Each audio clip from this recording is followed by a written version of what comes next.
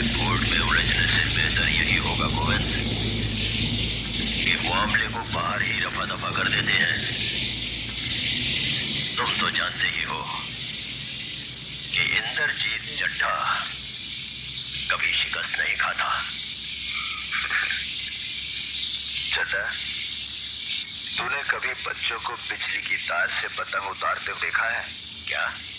कुछ तारे ऐसी होती हैं जिसमें से उलझी हुई पतंग बच्चे भी उतार लाते हैं।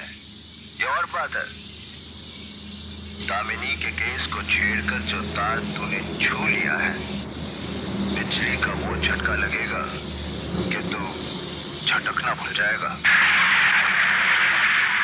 रस्सी जल गई पर बल नहीं गया।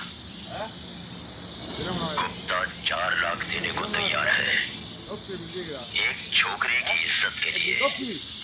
ये रकम बहुत है।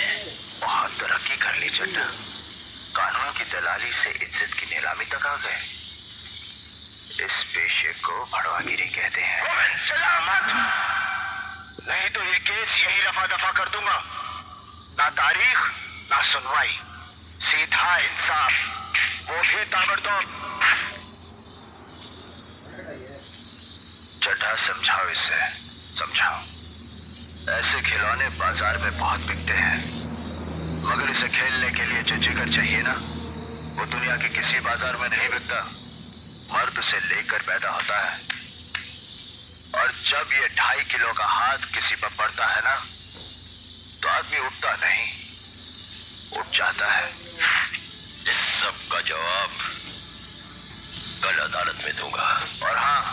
अगर अदालत में तूने कोई बदतमीजी की तो वही मारूँगा।